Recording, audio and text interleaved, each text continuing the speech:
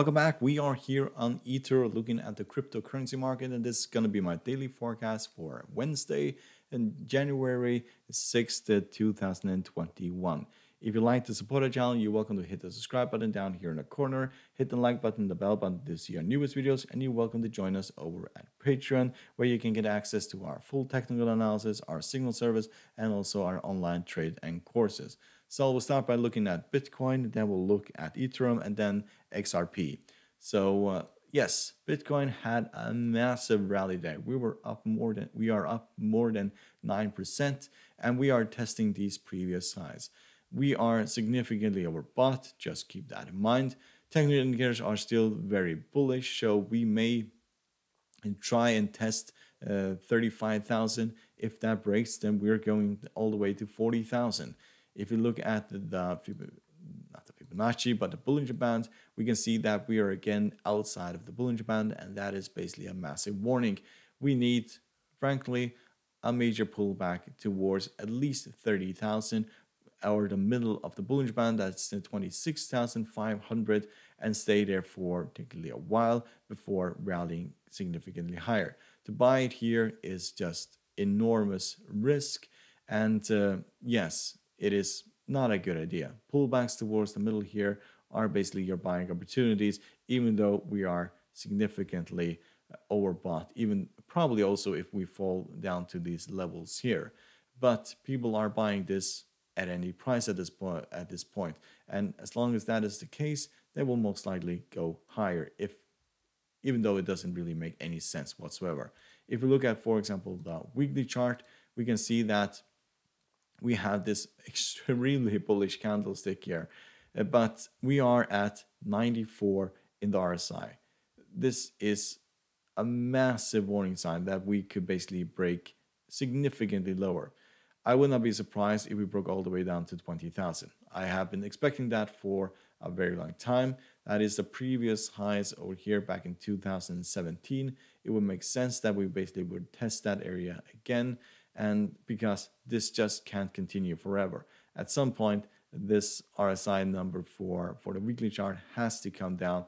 And when we are this overstretched, this fall is going to be astronomical. So if you look at the Fibonacci retracement also for the weekly chart, bottom to the top here, we can see that the first Fibonacci retracement is at 22 or 23,000 roughly. The next Fibonacci, the 50, roughly at 19 19,500 or around 20,000 and then we have to go all the way down to 15,700 this is possible. A fall towards the middle here um, to roughly 20,000 or the previous highs here that would make uh, a lot of sense um, and we have basically done that also in the past. If you look what basically happened here over here and also yes basically those two examples.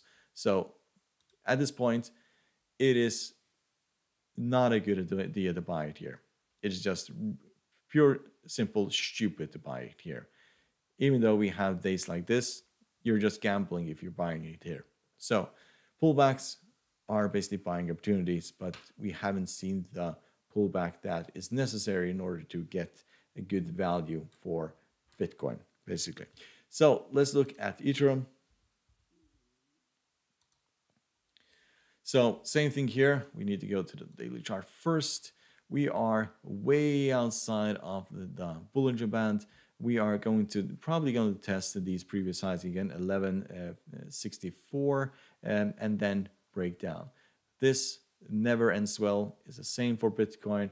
Uh, it never ends well when you're this uh, this exposed outside of the uh, our the top of the Bollinger Band. It will basically pull you back towards the middle, and that is roughly 746 at this current stage. That is also the previous highs here. That is most likely where we are going to go in not even the long run, it's going to be the short run and medium run. You're just going to see a pullback towards the middle here. Technical indicators for this are turning around. They are still very bullish. The CCI is at 250 one. So there's a long way down to until it becomes, becomes bearish. The same goes for stochastic, stochastic and the same goes for the MACD. We are at 88 in the daily chart in the in the, in the RSI. We're significantly overbought. So buying it here is just playing with fire. It is a bad idea. Wait for the pullback and then you can basically buy into this. Even the weekly chart for for Ethereum is now also at 92. It is it basically we haven't been this high since uh, all the way back to 2018 or by the end of 2017 where we basically fell from the very highs of 14,000 uh, uh, 1,405 all the way down to these lows of 88.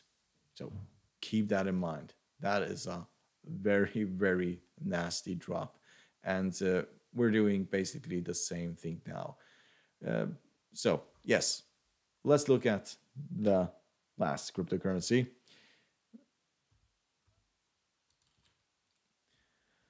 So, XRP. So we did rally here quite significantly and also as well here, when you basically get out of sight of this Bollinger Band, you can expect this to basically collapse. So this collapsed um, basically in, uh, in, the beginning of November. So you need to get the daily chart here. It was basically in the beginning of uh, or the end of November we, we, we topped and now we're basically trading below these previous um, this previous range. So we're trading at 0.2221 uh, at this current stage. We're trading underneath all of these um, moving averages. We're not even at the bottom of the Bollinger Band. So that is quite frightening because we could basically pull even further towards the lower part of the Bollinger Band before going higher. We should have a lot of uh, resistance above here. This isn't really tradable until we get above these moving averages and start trending above the 50 uh, the 20 exponential moving average. We're actually under the 200 moving average at this current stage. Technical indicators are looking like they are turning around. There's a long way until this becomes bullish again. So um, just keep in mind when we manage to cross the 220 and probably also the 50 and start trending up again in a normal trend, if that occurs because the last time we basically broke down, it basically did nothing for a very long time. But I think people are going to uh, get interested in these um, lower cost uh, cryptocurrencies. Um, for example, Bitcoin is uh, trading above 30,000 30, uh, at this current stage. This is trading at 0.221. This is where Bitcoin was back in 2011 before it went uh, bananas. And people are probably going to look at this and say, okay, it happened for Bitcoin. Why doesn't really? It could also happen for this cryptocurrency. So they'll probably take the chance, put their money in this cryptocurrency. As you basically see, it can move parabolical. People earned roughly 300% in this move here, and then could earn another 300% by shorting this again. So the money is basically the probability is there um, my problem with the cryptocurrency market is that I'm afraid there's just going to be too many cryptocurrencies that the market is just going to be overrun. It will basically be no make no sense when uh, there are thousands and thousands of cryptocurrency. It's already thousands and thousands of cryptocurrencies. So that is the big problem I have with this market that there's basically no limit until how many cryptocurrencies there can be even though there's a limit of how many bitcoins there are and so on. But the amount of, of types of cryptocurrencies, there is no limit whatsoever. So at this current stage, I'm just going to wait what basically happens here. It is interesting. You uh, you could basically put in a few thousand dollars and basically see what basically happens here because you could get lucky and have these massive rooms to the upside. So, hope you find this helpful. You're welcome to support our channel by subscribing, hit the like button, the bell button to see our newest videos, and you're welcome to join us over at Patreon. The link is down below. Good luck and thank you very much.